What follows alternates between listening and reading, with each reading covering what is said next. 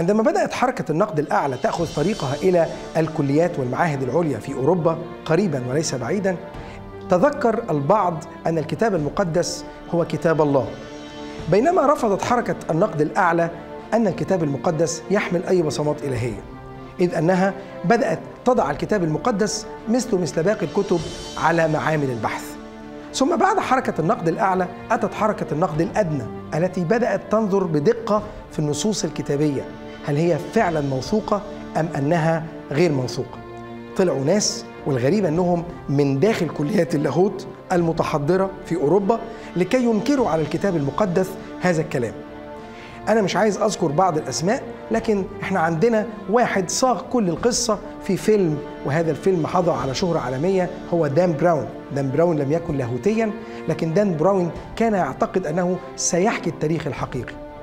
كلها أسئلة تفرضها علينا الأبحاث الحديثة عن كلمة الله. Jesus Seminar كانت محاولة أخرى في ألمانيا لبحث الكلمات التي نطق بها المسيح فعليا. وقالوا بعد ذلك أن المسيح كل ما قاله بفمه بالضبط لا يتعدى 20% مما كتب على لسان المسيح بواسطة التلاميذ.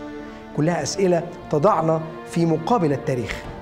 هل ينصف التاريخ الكتاب المقدس في كل ما قاله أم أن التاريخ يحمل كوارث ويحمل فضائح لكلمة مزورة نعتبر أنها الكتاب المقدس. أنا بسأل أسئلة جريئة لأن هذه الأسئلة تطرح نفسها حديثا علينا في كل الأروقة في السوشيال ميديا وغيرها.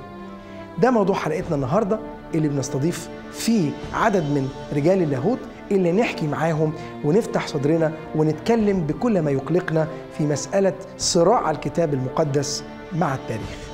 فابقى معنا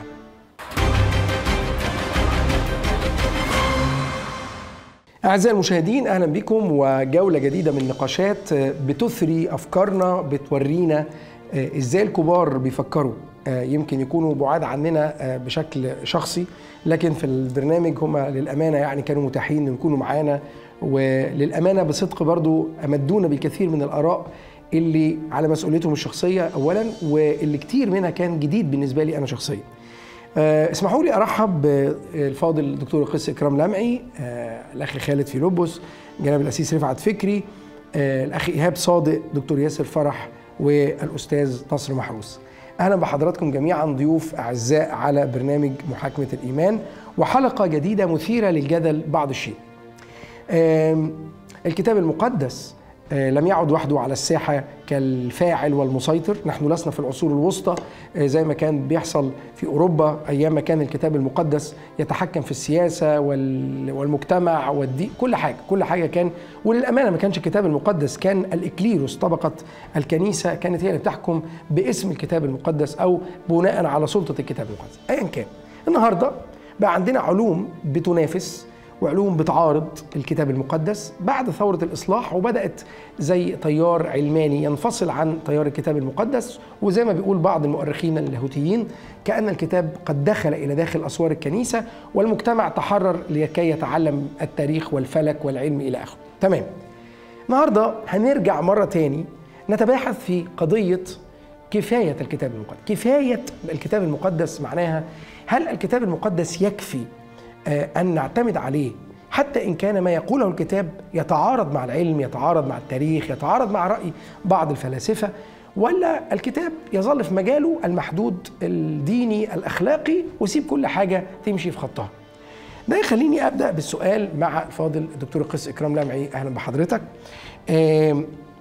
هل تعتقد أنه اللي بنوا فكرة فصل الكتاب عن المجتمع والواقع شافوا إنه في تناقض من بين الأسفار المقدسة وبعض. هذا التناقض أدى إلى فقدان الثقة أو اهتزاز الثقة في المكتوب بين إيدينا. وبالتالي قالوا خلاص لما تصلحوا مشاكلكم وابقوا تعالوا قولوا لنا أخباركم إيه. إحنا عايزين كل حاجة تمشي في خطها. العلم في خط والتاريخ في خط والكتاب في خط زيه زي أي خط من الخطوط وإحنا بنؤمن بالتعددية. أنا مش هطول في السؤال خليني أسألها بشكل مباشر. هل وجود تناقضات بين الأسفار أو إشكاليات. بلاش أقول تناقضات لأن ده حكم مسبق. ادى إلى فقدان الثقة في المكتوب اللي بين إيدينا وفي عصمته ولا إيه رأي حضرتك؟ طبعا الآية العمدة في الموضوع ده اللي هي بتقول كتبه ناس كتبه ناس كتبه ناس الله القديسون مسوقين من الروح القدس. الكاتب بقى الأصلي هو الروح القدس مش الإنسان. عشان كده قالوا مسوقين. من الروح القدس. طبعا في آه، ناس بتطلع آه، آه، انتقادات في الكلام انتقادات علمية. وفي ناس بتطلع يعني آية بتعارض آية أو من الناحية الأخلاقية حاجة عكس حاجة. وناس بتع- بتعلق انتقادات فكرية أو علمية إلى آخره يعني. الرابط هنا في الموضوع آه، أنا شايف إنه الرابط في الموضوع هو كيف نفسر كلمات الكتاب المقدس. آه، لو هنفسر كلمات الكتاب المقدس حرفيا هنلاقي إنه في كل عصر من العصور كان في فكرة معينة بتسيطر على الكتاب. وكان الروح القدس طبعا آه، بيوحي إليهم بالفكرة وهم بيعبروا من خلال آه، اللغة ومن خلال الثقافة.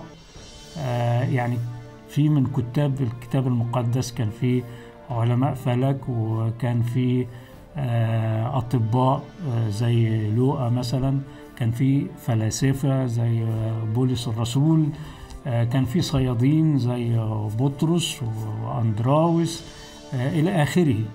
آه، وبرضه في العهد القديم كان في نفس التصنيف ده. آه، آه، فكل واحد لما بيجي يكتب الفكرة اللي ربنا أوحى ليها بيه بتبقى القاعدة بتاعته أو المنطلق بتاعه هو الثقافة بتاعته. يعني حضرتك بتروح ناحية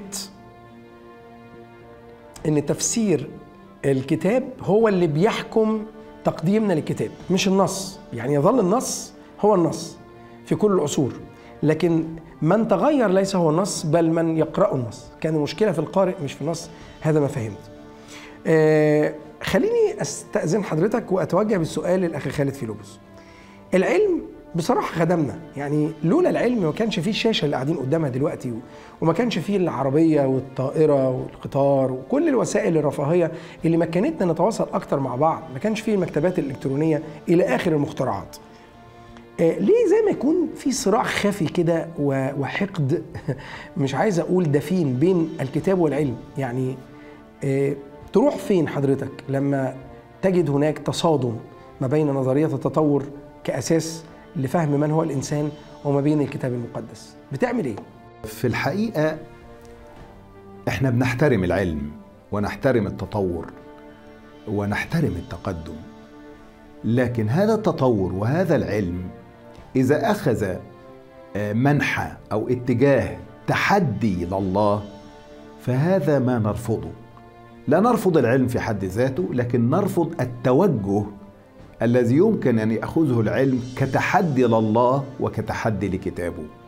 وهكذا التقدم والتطور. لكن متى كان هذا العلم أو هذا التطور تحت سلطان كلمة الله وإعلانات الله سيأتي بالهدف السليم والمرجو للبشرية كلها إيه اللي بيخلي العلم يسبب الدمار للبشرية إنه يستخدم العلم في تحدي لله الله ما يتحدهوش والكتاب محدش ينفع وما يصحش ابدا إن إحنا آه، آه، نتحداه.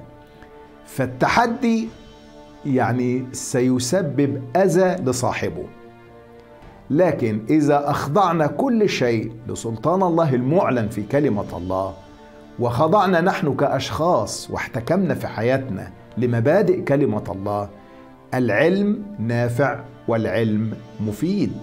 الطاقات الذهنية الجبارة اللي وضعها الله في ذهن الإنسان لم يضعها عبثا لكن وضعها لأغراض و- واستخدامات جميلة.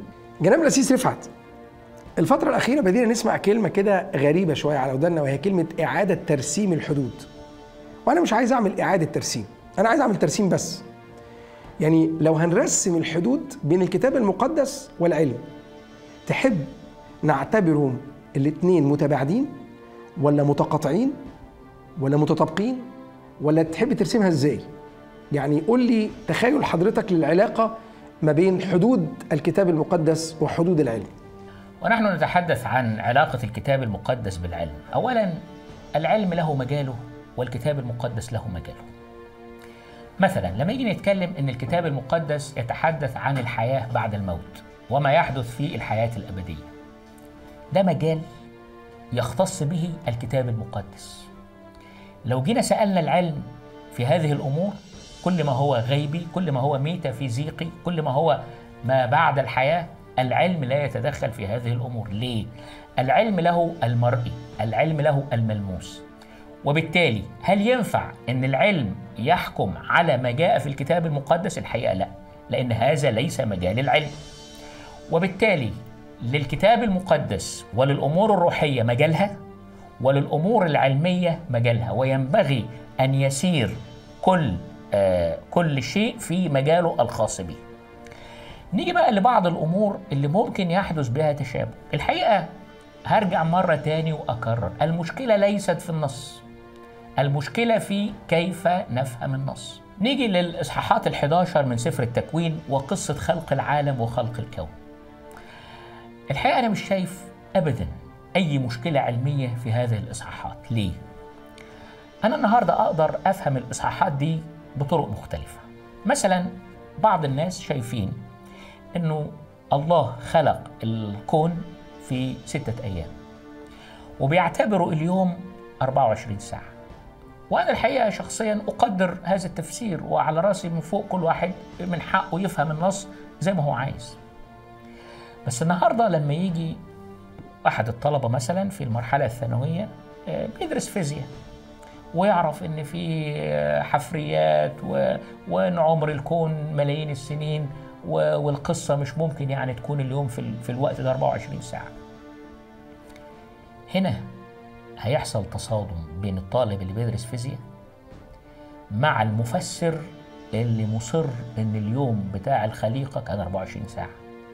وهنا هيحصل حوار. الحوار ده مصيره حاجة من اتنين.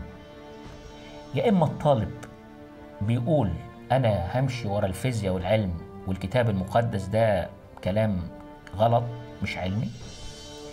يا إما المفسر بتاع النص دوت بيقدر يقنع الطالب إنه يتخلى عن المنهجية العلمية ويصدق إن اليوم 24 ساعة ويمشي في هذا الركاب. ده ممكن يحصل كده أو كده. دي مدرسة تفسير ولها كل التقدير ولها كل الاحترام.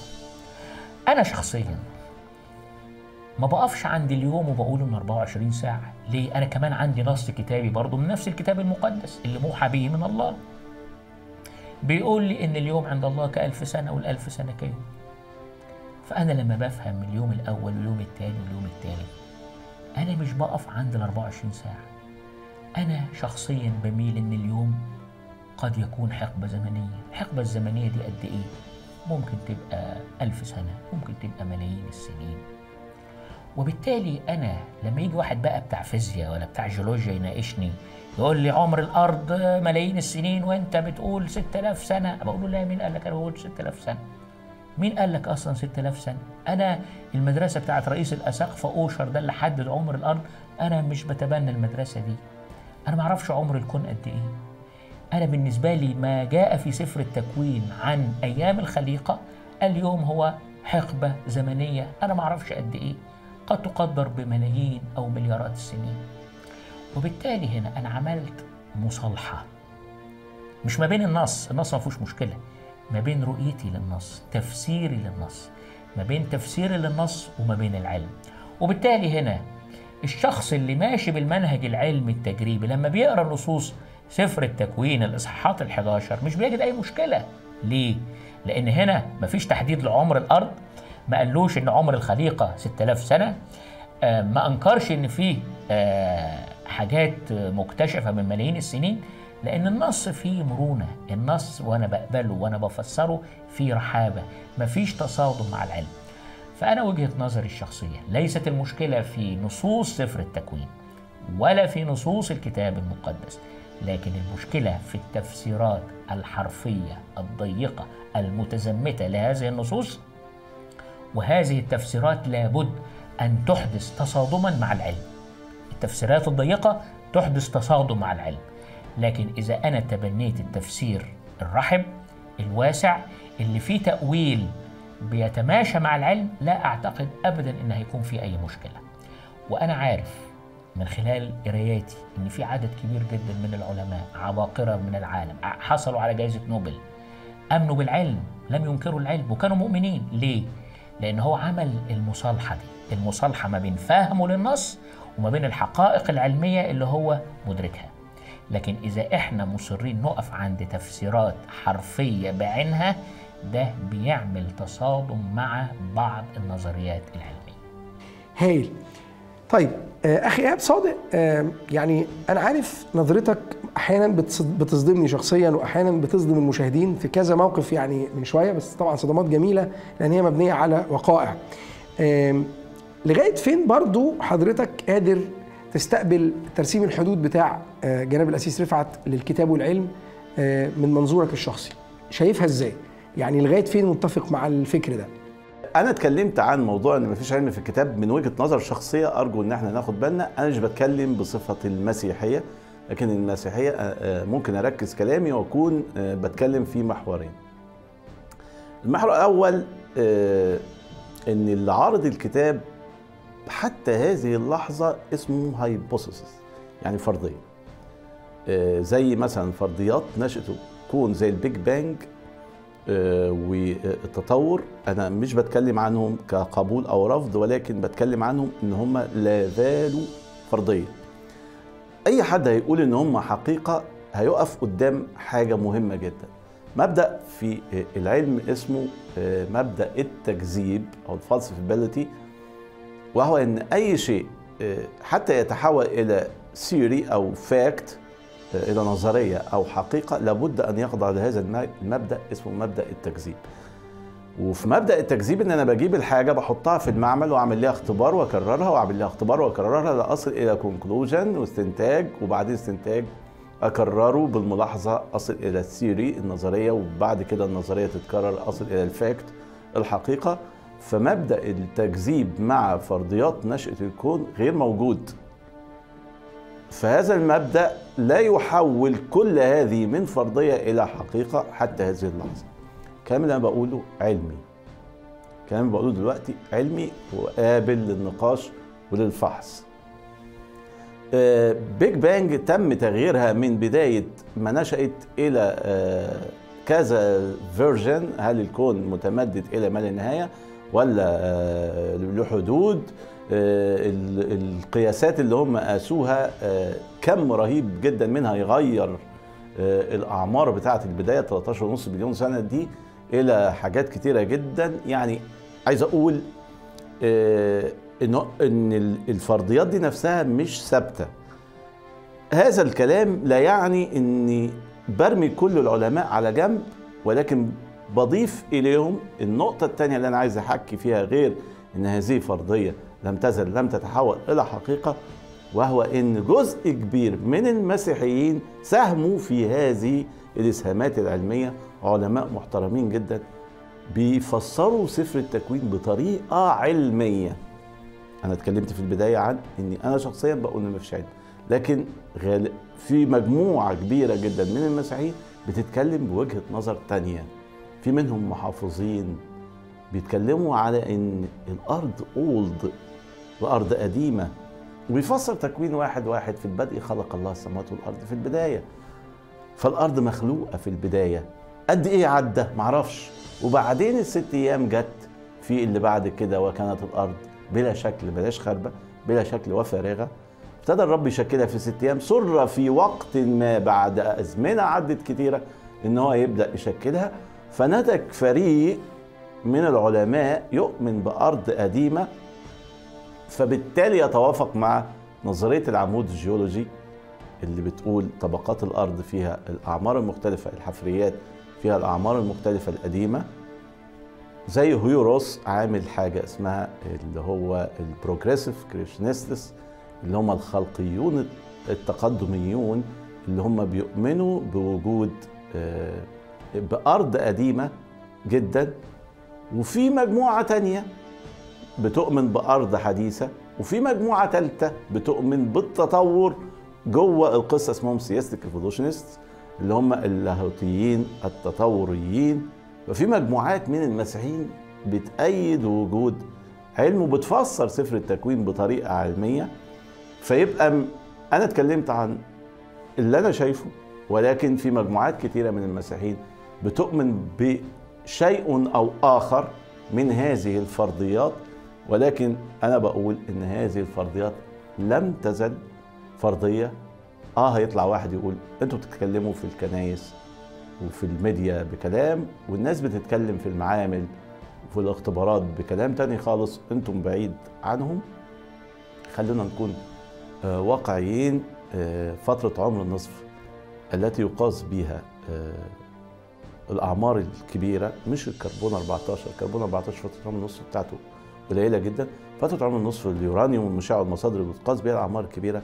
فترة عمر النصف طويلة جدا لا يمكن وضعها في المعمل.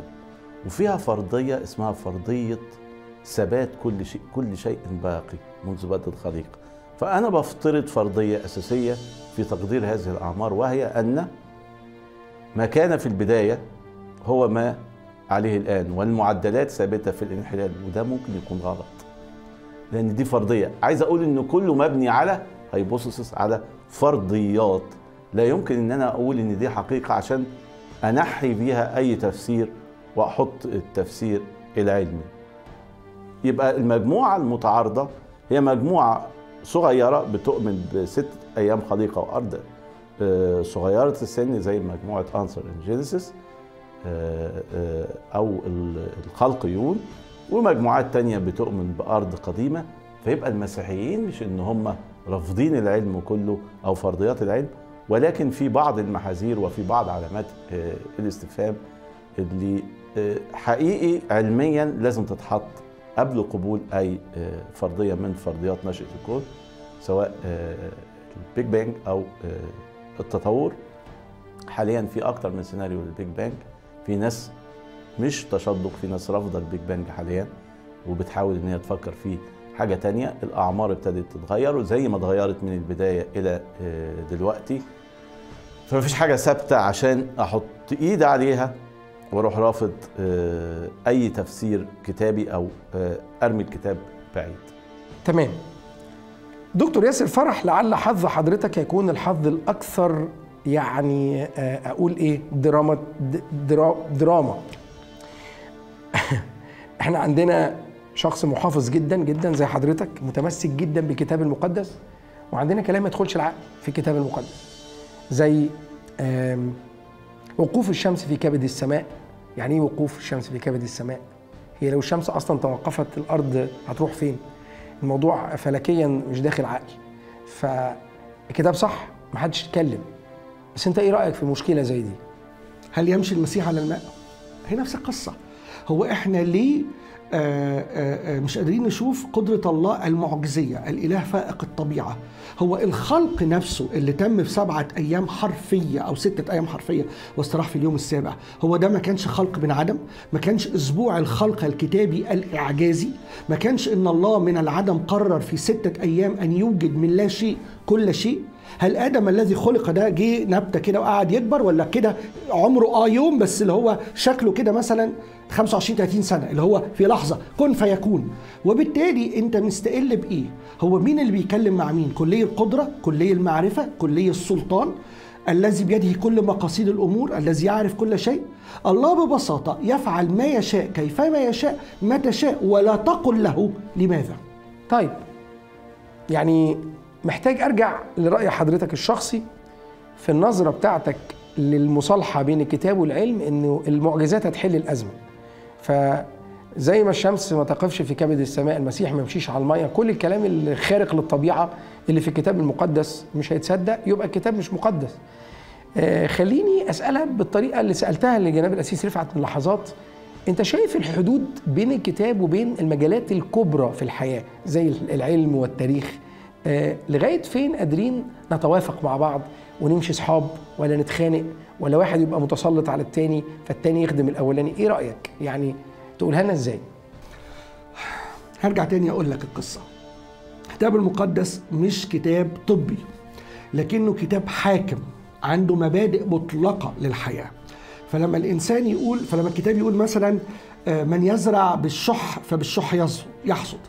أو إنه آه، آه، كل شر يجد هناك شر أمامه.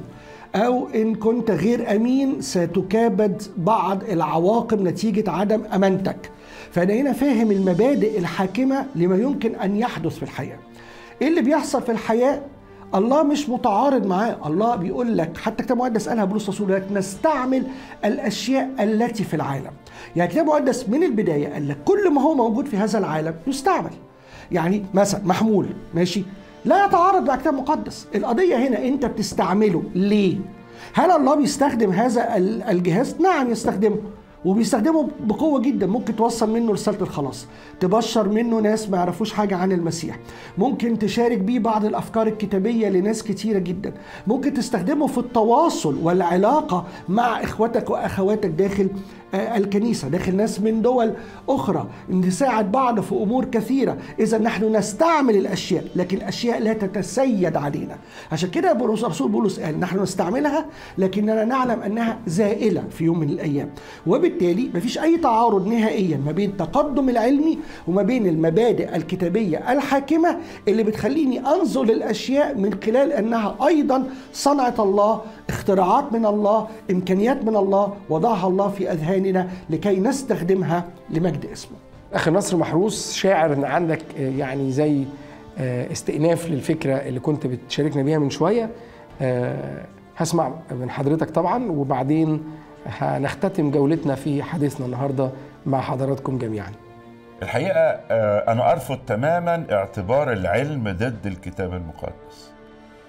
وأرفض تماما أن أنا آه، عندما نجد أن العلم يصل الآن إلى أمور معينة نرفضها لأن الكتاب المقدس آه، ذكر أمور أخرى. ده بيرجعنا مرة تانية للمشكلة الأساسية أنه كتاب الوحي كتبوا في تاريخهم كتبوا في حضارتهم.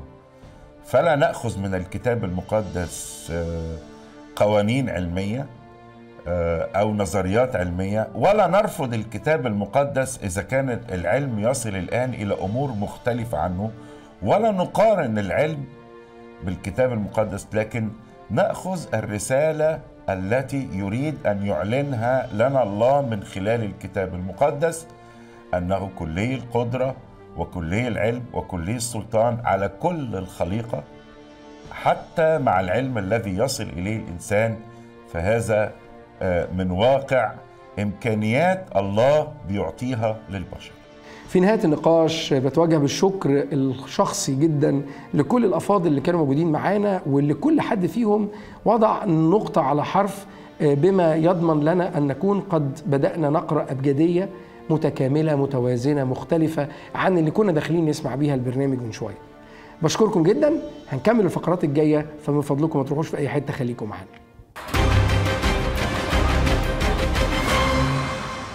حاجة غريبة. المسيح يقول على نفسه تعلموا مني لأني وديع ومتواضع القلب. بس الغريبة إن لما نقعد نركز شوية في قصة حياة المسيح ومقابلاته مع الناس تلاقوه أكتر من مرة بيكرر بعض الألفاظ الغريبة.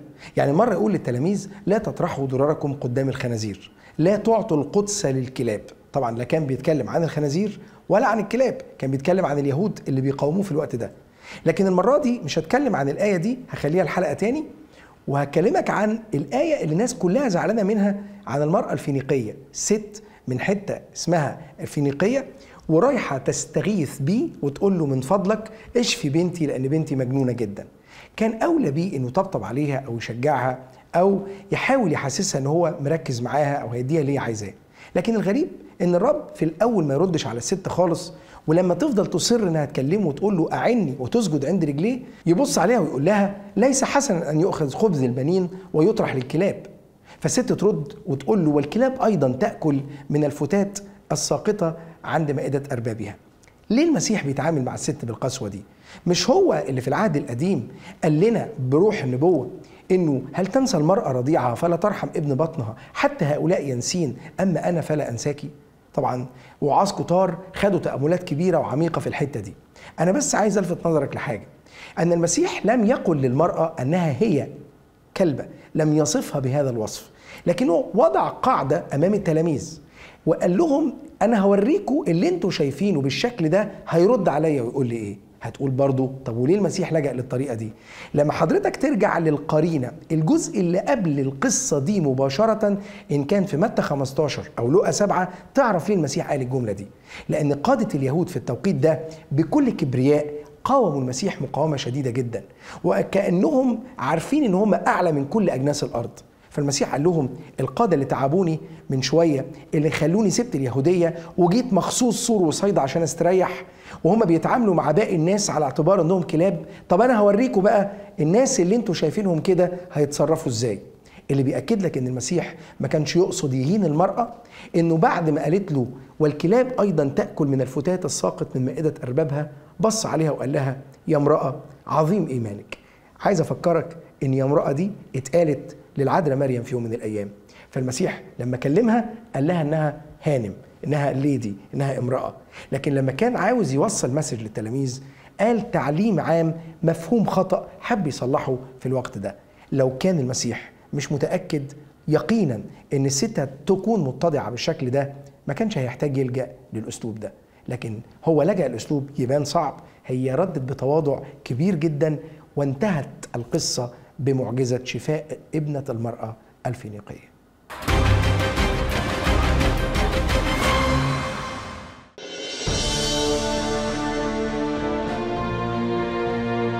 حلقة صراع الكبار وال- والحدوتة اللي قائمة من تاريخ طويل ما بين العلم والكتاب المقدس بتاخدني لقراءة في الوحي والعصمة كتاب الوحي والعصمة لفظا أم معنى دكتور فينيس نقولة ودكتور إيهاب الخراط. آه، حقيقة بيقولوا كلام آه، بعد- بشعر إنه كلام متوازن وحكيم. أنا هقرأه على حضراتكم قراءة نصية كما هو مكتوب. وعايز أشرح بس حتة صغيرة جدا أثناء القراية من فضلك ركز معايا. بيقول بداية الحاجة إلى استيعاب الصياغة المرنة الواردة في إقرار الإيمان الإنجيلي موحى به لفظا ومعنى وبمقتضى نواميس الذهن البشري. وهو كأنه بيأكد على إنه ما عنديش مشكلة أن الكتاب موحى به لفظا ومعنى فلا يمكن أن يكون هناك معنى بدون لفظ فاللفظ هو الوعاء الذي يحمل المعنى. لكن ما تنساش أن هذا اللفظ والمعنى مرتبط بنواميس الذهن البشري. بيقول وهذه صياغة مرنة تساعد الكنيسة على توسيع رؤية العمل على التوازن ما بين العنصر الإلهي والعنصر البشري. ومن هنا يمكن للكنيسة الآتي واحد مصالحة الفكر الديني للعلوم والكف عن التعامل معه باعتباره عدوا أي العلم للكلمة. خلاص؟ لو إحنا بنراعي أن الكلمة معصومة لفظا ومعنى ولكن بمقتضى نواميس الذهن البشري الجملة دي متاخدة من إقرار الإيمان الإنجيلي؟ ساعتها مش هيبقى عندنا مشكلة مع العلم إذا نحن نؤمن بقوانين ونواميس الذهن البشري. لكن الأمر الثاني بيقول إن العلم يصير خادما للكلمة عند التخلي عن النظرة الريبة والشك والخوف بل والرعب من العلم. فإن كانت البشرية كلها مدينة للعلم فبادئ ببدء لولا العلم لضاقت الأرض بسكانها منذ زمن بعيد ولفتكت الأمراض بالبشر. ولولاه لغابت حقائق كشفت الكثير مما يساند المكتوب. ولولاه لما انتشرت الكلمة بكل لغات العالم تقريبا ولما وصل الخبر السار إلى كل أركان الأرض.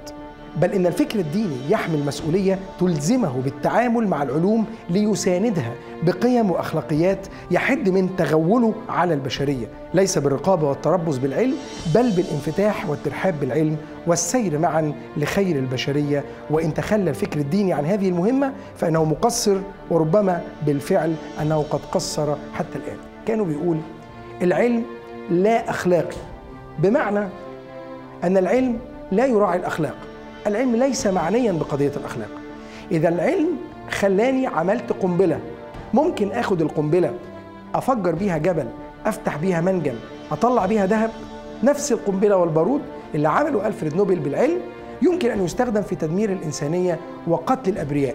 مين اللي بيتحكم في توجيه مسار العلم الغير أخلاقي ده؟ الدين أو الكتاب المقدس. نحن عندنا الكثير والكثير من العلماء المتدينين إسحاق نيوتن وصاحب نظرية النسبية أينشتاين. كل هؤلاء العلماء وغيرهم كثيرين كانوا مؤمنين بالمسيح وكتبوا يوم من الأيام إهداء إلى مهندس الكون العظيم. عشان كده مفيش تصارع دع الكتاب المقدس يتفوق بالإنسان ثم دع العلم يخدم الإنسان. ما بين السيد والعبد لا يوجد أي تنافس ولا يوجد أي تضارب أو تضاد. لتكن هذه العلاقة ما بين سلطة الكتاب المقدس على أرواحنا وما بين خدمة العلم لأغراضنا الشخصية. إلى أن نتقابل في حلقة قادمة. لكم مني كل تحية.